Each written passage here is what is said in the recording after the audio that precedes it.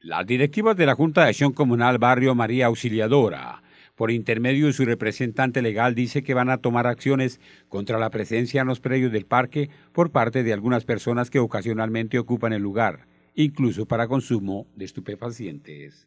En las horas de la noche al kiosco ingresa gente a, pernoctar en ese, en ese, en ese espacio. Eh, la comunidad en reuniones había acordado que una familia cerraba la puerta oriental y otra la occidental después de las 8 y 30 de la noche. Pero eh, vecinos desistieron de ese,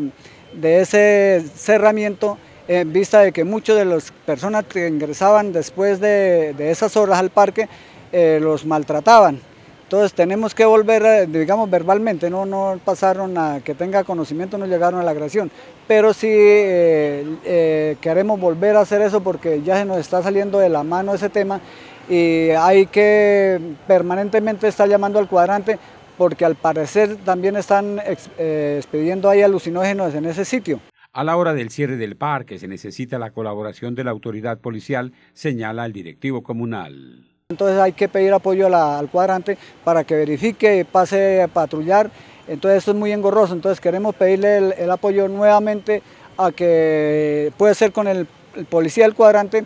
para que en esas horas nos acompañen a hacer el cerramiento del parque de 8 y 30 de la noche a 6 y 30 de la mañana.